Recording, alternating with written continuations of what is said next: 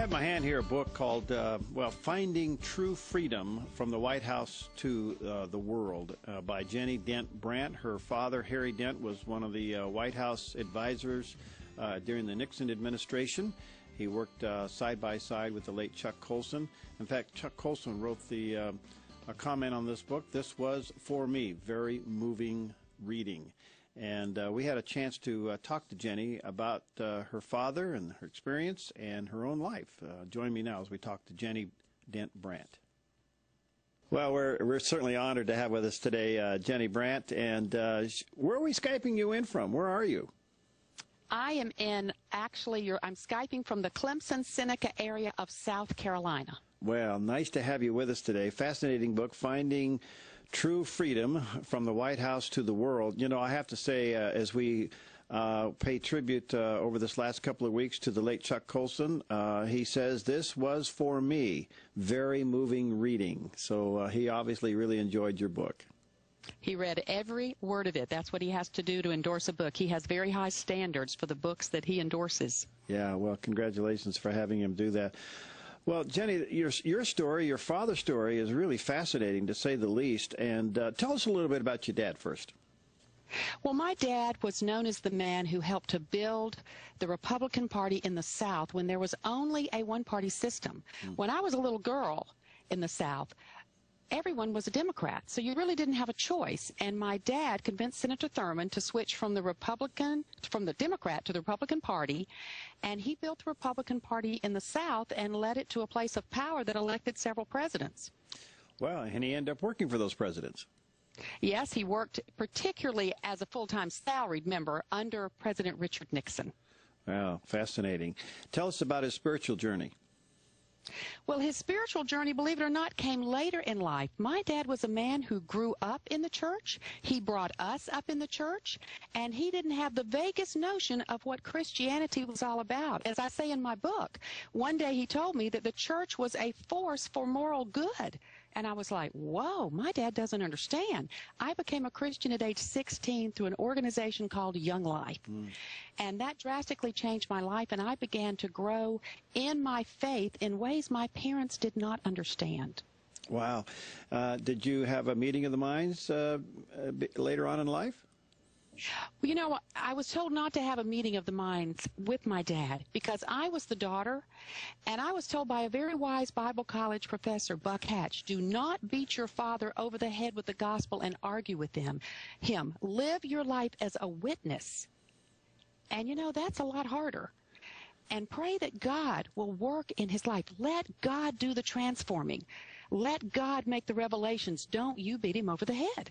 And I was about ready to get that fry pan out, but I didn't because of that advice. That's very good advice. Very good advice. Well, finding true freedom from the White House to the world. Um, what led you to write this book? In 1998, after all I had gone through with my dad, I mean, at some points he persecuted me over my faith. He forbid me to go to a certain Bible college and would refuse to pay my way. And so I faced a lot because I went in a different direction from him. And in 1998, when I got to go to Romania, and sit on the front lines with my dad and see what he had done for that country to help them to come to freedom after communism and the 50 churches that he had helped to plant and train pastors from their own country. I was so overwhelmed at the goodness of God. I knew at that point, Perry, that I would one day write a book about what God did in the life of a man that went from being a top political strategist to seeing God's mission in this world. It was a beautiful transformation. It was written in gratitude. You know, I, I think few understand the impact that your father had on Romania.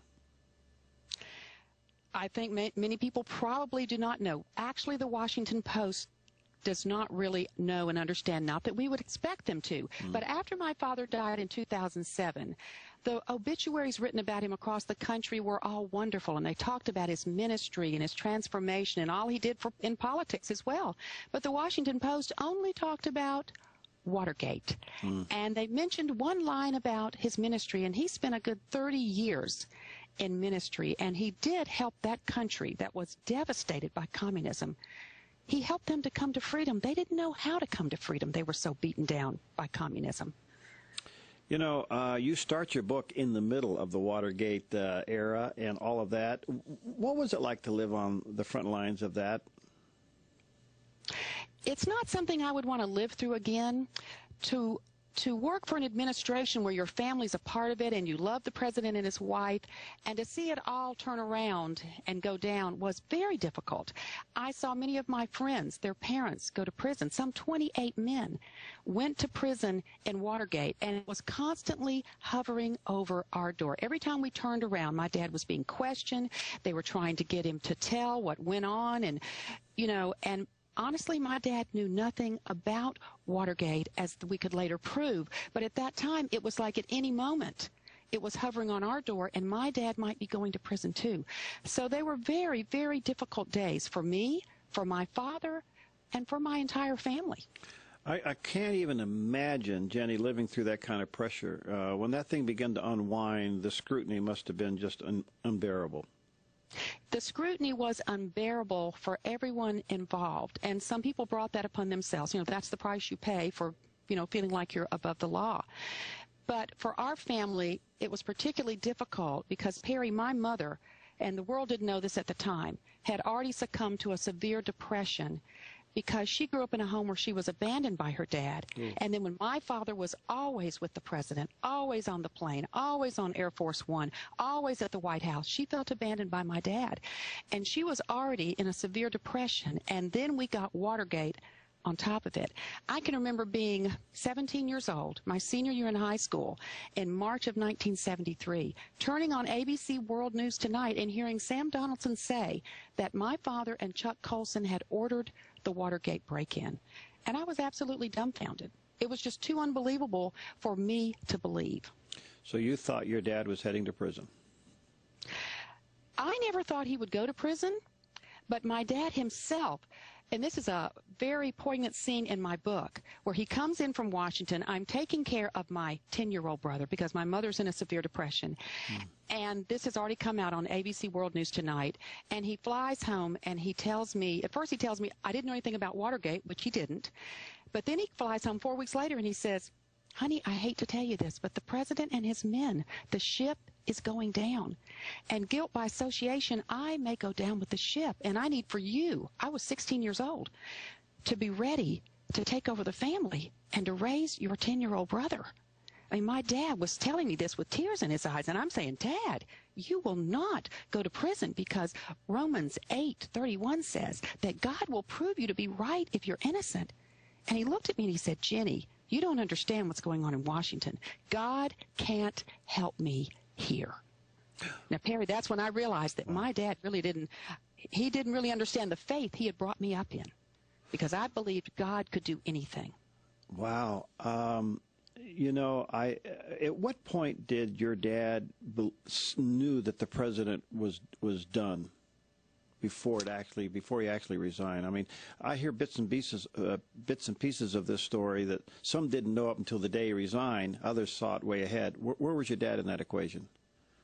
You know, I don't know exactly when he knew. I I think he knew a little bit before that, but I was at Hilton Head waitressing to earn my way through college. Uh-huh. And I was watching it on TV as President Nixon took off on that air, that Marine One helicopter. Uh-huh. And it was devastating to look in everything my family had worked for and all the sacrifices we had made for the causes of the freedom of this country and to see everything he had worked so hard for you know, go down the tubes because of this. It was just absolutely devastating. Now, I will tell you this, that my dad was asked to, you know, stay on with the Nixon administration in the second term, and a lot, everyone had to turn in their resignation. They were flown to Camp David, and when he offered my dad a position in his next term after that landslide reelection, my dad said he couldn't because of my mother's illness and depression. But he took the president. He gave him the best advice anyone could have given him. He said, "This Watergate is becoming uncorked, and you need to find out who did what, and you need to." Fire them, make it right, and you need to come to the American public and ask their forgiveness and tell them that something has happened in your administration. And I believe, my dad told him, I believe that the American public will forgive you if you will be honest and come forth. And that was one of the few times the president did not take my father's advice. And had he done that, it would probably the outcome been entirely different. I believe it would have because it happened with Reagan in the next term that something happened under him. Yeah. And at first he didn't quite, you know, Knew know what what was going on or say it. And then two weeks later he says, Whoa, this happened under me. I take the blame. I'm sorry. I'll get it right. Hmm. And it saved his presidency. Before we take a break, uh, going back to the fact that you quoted your father's scripture, and I realize that was something later you were told not to do, but uh, you proved to be right. Did he ever come back to you and say, you know, honey, you were right? Yes, he did. It took him a long time to go through that spiritual transformation. It wasn't immediate. It took many years. And he was having an autograph. He was signing his, his books when he wrote Watergate, The Cover Up in All of Us. And in the book, he wrote to me, You were right all along. Wow. Um, what a, what an incredible story. When we come back, uh, well, let me ask you this before we take a break. If your father, and I realize this is hypothetical, what advice do you think the, your father would give a president today? I believe, Perry, that his advice today would be more spiritual than political. He was such a political strategist in his day. But as he learned the Bible, he began to see that our problems were more spiritual than they were political. And I believe he would tell a president today, it's time for us to bow on bended knee, that our problems are more spiritual than they are political. We've turned away from God. We're pulling him out of everything. And more than ever, we desperately need his hand of help today. And it's not to tell everyone how to worship God. Our country has never been a country that has told people what their faith should be, but only that as a country we were founded upon principles in the Bible. We were founded upon God and His strength has carried us through so many years and blessed us beyond what any nation has ever been blessed. And we are now pulling Him out of everything. And I believe He would say that, you know, that is the biggest mistake we're making. Well, we're going to take a break. We'll come back with uh, Ginny Dent uh, uh, Bryant in just a moment. But you know, Ginny, uh, I've had the opportunity to be in the uh, House of Representatives on several occasions, and I happened to be there for the last State of the Union address for uh, George W. Bush. And every time a president steps to that podium, above his head, about eight feet, etched in marble, is our national motto, In God We Trust. I long for the day when a president will stand there during a uh, State of the Union address, stop everything, and force the cameras to pan up and read what is above his head, In God We Trust. Wouldn't that be remarkable? it would be wonderful. I mean, honestly, I think the only thing that can really turn our country around is at this point is if a spiritual revival like the second great awakening sweeps through this country from one end to another. It's I mean, we are in that desperate shape today and we more than ever need the hand of God. And Abraham Lincoln said it so well. You know, the hand of God is what strengthened and enriched us, yet we've forgotten him. And here we are again at that place. All right, we'll be right back with Ginny Brant in just a moment. I'm a watercolor artist, and I have to take my paintings to galleries everywhere, including the Rogue Gallery and Art Center. So, of course, I love my Subaru. I just lay down the back seat, and these babies slide right in. I used to drive a Toyota, but my Subaru has more room, is quiet, and gets better highway mileage. I'm Barbara, and that's what makes a Subaru my Subaru. Southern Oregon Subaru on Biddle Road, Medford. I love my Subaru. Hi, I'm Tim the Timinator from Four Seasons Nursery. Thank you for watching and supporting the Dove and Christian Broadcasting. Like the folks at the Dove, we at Four Seasons value honesty, integrity, and quality. So if you're looking for great garden products such as vegetables, flowers, shrubs, or trees, come by and check us out. I'm sure you'll find the success you're looking for. Four Seasons Nursery, half a mile north of Vilas Road on Crater Lake Avenue. Medford Construction. A leader in the construction industry. From concept to completion, we will deliver to you the highest quality workmanship at the lowest price possible. Our design build team will complete your project on time and on budget. Give us a call for an evaluation on making your home more user friendly for special needs and the elderly. For great prices without sacrificing quality, give Medford Construction a call or visit us at medfordconstruction.com. White House correspondent David Brody. Don't worry, we've come to the rescue. Emmy award winning veteran news journalist. This week we went into full stalking mode at CPAC and it paid off. Political analysis you can trust. Politically, you have to wonder why um, the president decided to do this. This is really a serious assault on, on the rights uh, of religious freedom of every American. You never know when we're going to show up or where. The Brody File. Crank it up. 7:30 Friday on the Dove TV.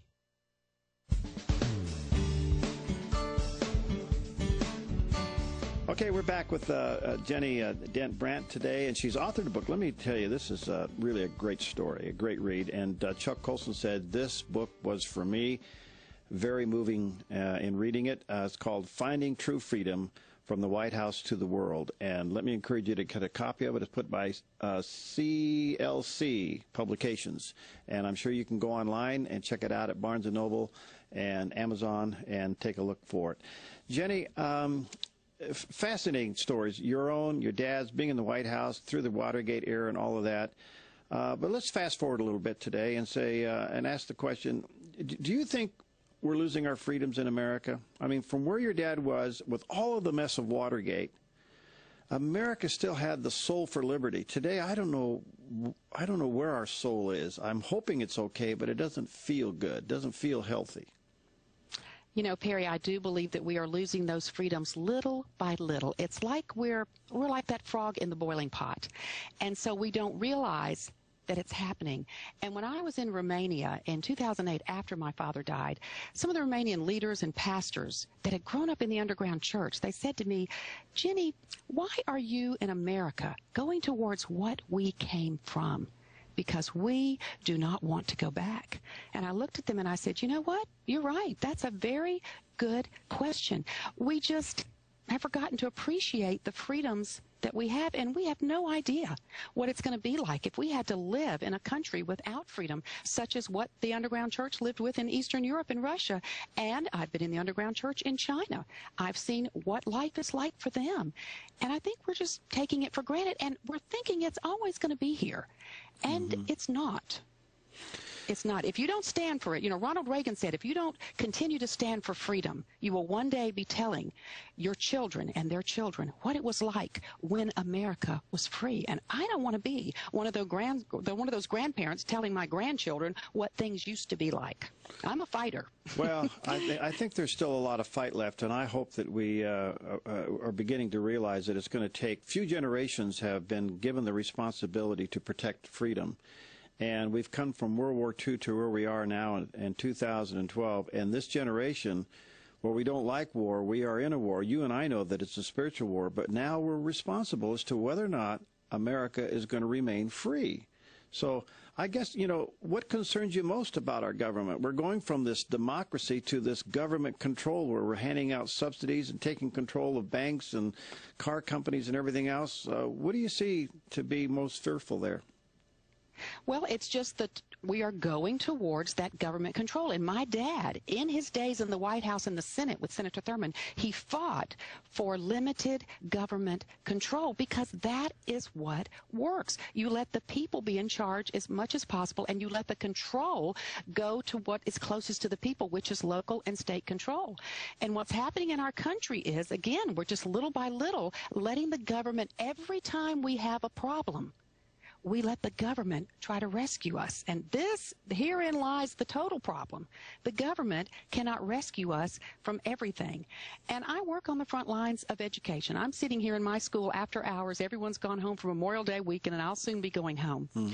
But what we see on the front lines is entitlement where people just expect the government to take care of things and to provide for, for them. Ginny, being in the White House is, is really an incredible experience. And um, maybe you can get us a feel. Does the president really have the last say about everything? And, and I know that he does, but how influential are all of these advisors around them? Because it, right now we're watching an administration kind of fumble around. We're beginning to wonder who really is running the running the ship here.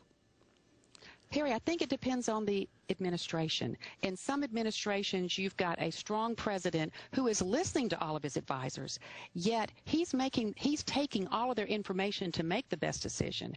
And then you've got some administrations, well, I'll take Jimmy Carter's administration. He had very poor advisors. Mm. As a result, he did not do well as a as a, a president. Our current administration, he just has so many so many advisors and so many liberal advisors. Yeah. I mean, that are just way off the map, just like anything we've ever had before. So it's just, you know, I'm not, not really sure. I know you're thinking about Osama bin Laden, you know, what they said when they went in to get him. They had to convince him to do it, and he almost didn't do it. Yeah. And here his advisors were saying, do it. You've, you have got to do this, you know. So it is kind of hard. You know, it doesn't appear that he is a very strong president and not very well experienced. Okay, we are heading into a really a big decision, and, and I don't want to go political. I really want to stay on the spiritual vein of things. Do you think that the, the, the faith community in America gets the criticalness of the moment? I hope that they get the criticalness of the moment. I mean, I hope that they see. I mean, I really believe if this election does not put a man in, or woman, or someone who is going to go away from government control and start returning the power and the control to the people, we're going to pass a place of no return. And that is what concerns me the, most. I believe we're just sitting there on the edge, and we're either, we're either going to tilt one way and not be able to turn around, or we're going to start going back to giving the control back to the people. I will tell you this when we were talking about, you know, presidential decisions, from what I've always gathered from what my dad said about the picking of a vice presidential candidate, mm. it's not really the president's pick. It is the party and the advisors around him who are saying what is best needed on this ticket. Mm-hmm. What is needed on this ticket? And that's how a vice president, in the years my dad was up there, that's how the vice presidents were decided. Yeah, so they say it's the president's most important decision, but I never seen it his decision. I think it's a popularity contest on how to get more votes coming up to the general election. It is, and I think for Christians that that could could prove beneficial because it could be in the ticket being formed by the Republicans now that it may be that Romney will pull on an, an evangelical. All right. So where do you think uh, Christians are going to be. I mean, I'm hearing everything back and forth. They're not going to vote. They are going to vote, in spite of the fact that uh, it's Romney and they see him somewhat as a moderate and as a Mormon. And I, you know, I don't want to be disrespectful any of those things, but I'm hoping that we see the importance of this election, the least of which the faith community will get in and, and vote the right way, so that we can save uh, the liberties of, of our of our country.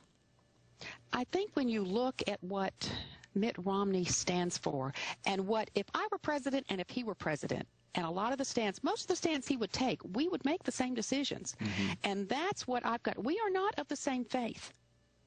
But the way that that faith plays out in the decisions that a president makes are very, very similar in this case.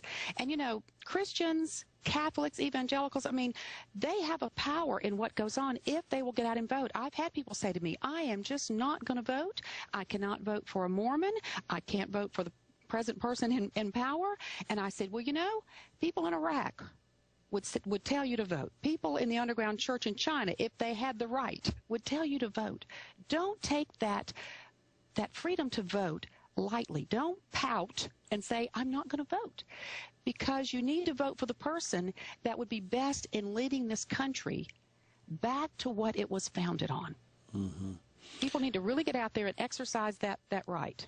Um, let me ask you about the current battle that the Catholic Church, Church is having with the uh, Human uh, Health and Services Department, and it looks like they're going to litigate this. Uh, that's quite a stance for their faith and their belief system to me, I applaud it. I think it's wonderful. I, I would hope that we'd all get kind of a backbone like that. You know, I heard Mike Huckabee said when, when that issue came to the forefront, he said, you know what, today we are all Catholics.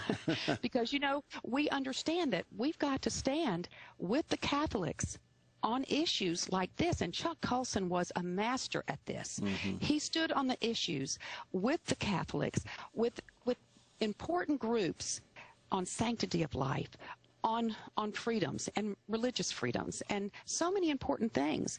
And I think this is where we need to feel like, you know, we're we're like a Catholic today because we understand that this is part of their faith and they should not be told by the government what to do.